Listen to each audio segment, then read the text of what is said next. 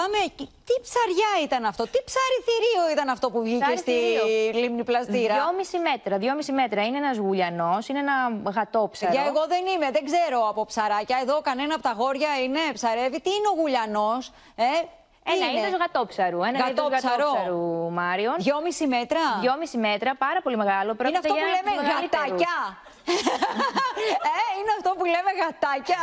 Για πες, Λοιπόν, βρε, Μαρία. είναι ένας από τους Ναι. μεγαλύτερους φαίνεται που έχουν ε, πιαστεί. Χρειάστηκε δυόμιση περίπου ώρες Ναι. προκειμένου να τον βγάλουν οι δύο αυτοί ψαράδες από το νερό. Δεν πρόλαβαν όμως να τον ζυγίσουν γιατί αποφάσισαν τελικά να τον απελευθερώσουν και πάλι πίσω στη λίμνη. Λοιπόν, Πάρα πολύ ωραίο αυτό που ακούω. Άρα αυτό εδώ το θηρίο ψάρι γουλιανός γατόψαρο, όπως θέλετε πείτε το. Επέστρεψε το στο περιβάλλον ψάρεψαν, του. κάνανε αγώνα να το βγάλουν μεν, το κρατάνε είναι ζωντανό και το ξανά έριξαν μέσα. Ακριβώς αυτό. Πολύ σωστή κίνηση. Ε, περίπου υπολογίζουν ότι πρέπει να είναι περίπου στα 90 κιλά. Δεν πρόλαβαν να το ζυγίσουν, θα το γύρισαν ακριβώ Εντάξει, αν το δεις να κολυμπάει δίπλα σου, κάτι τι, όχι θα το πάθεις. Ναι, ναι. Θα κάνεις sprint γρήγορα. Σίγουρα. Λοιπόν,